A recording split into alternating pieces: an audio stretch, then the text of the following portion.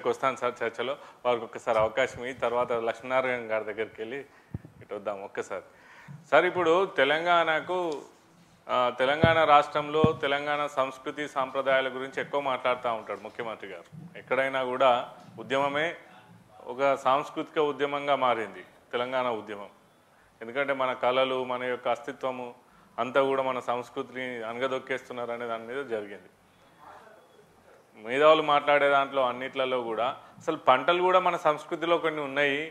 ఆ పన మన సంస్కృతిలో భాగమైనటువంటి పంటలు ఈరోజు మార్కెట్లో మిలెట్స్ రూపంలో చాలా ఎక్కువ ధరకు దొరుకుతూ ఉన్నాయి ఎక్కువ ధరకు కొంటా ఉన్నారు. అసలు తెలంగాణ రాష్ట్రంలో తెలంగాణ ప్రజలు గతంలో వండించినవన్నీ కూడా ఈరోజు ధనికులు తింటున్నటువంటి పంటలు.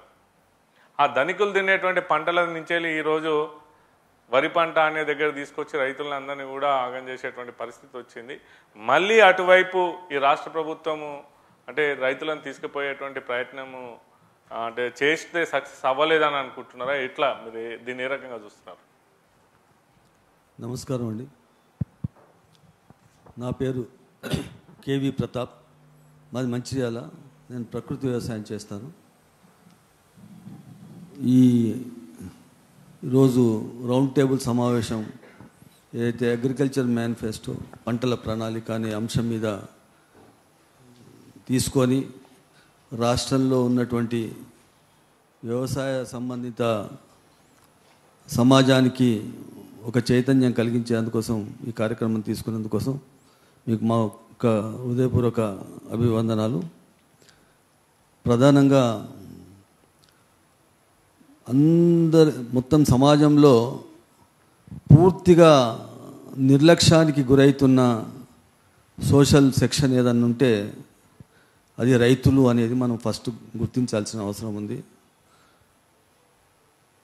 ముఖ్యంగా మన రాష్ట్రానికి సంబంధించి ఈరోజు మనం ఈ చర్చ చేస్తున్నాం కనుక మనం జాతీయ స్థాయిలో వ్యవసాయం గురించి ఆలోచిస్తూ ఇప్పుడున్న అంశం మీద కూడా మనం మాట్లాడడం చాలా అవసరం. అసలు నేను చెప్పేది ఏంటంటే ప్రభుత్వము వ్యవసాయానికి సంబంధించి రైతులు చేయాల్సిన వ్యవసాయ పద్ధతులకు సంబంధించి ఎలాంటి స్పష్టమైన ప్రణాళిక శాస్త్రీయమైన ప్రణాళిక అనేదే లేదు అని నేను అంటున్నాను.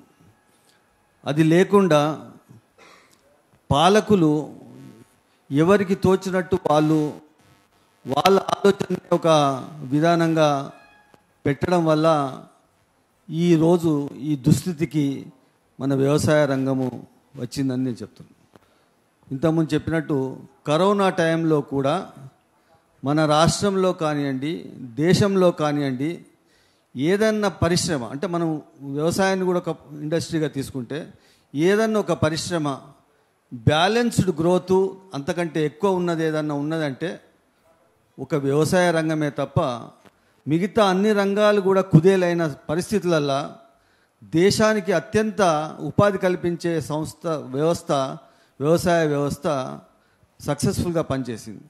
మరి అలాంటప్పుడు దాన్ని ఆదుకోవడం కాదు దాన్ని సుస్థిరంగా ఉంచే కా- విషయం లోపల ప్రభుత్వం ఏం ఆలోచిస్తుంది అని అంటే ఏమీ ఆలోచించడం లేదు.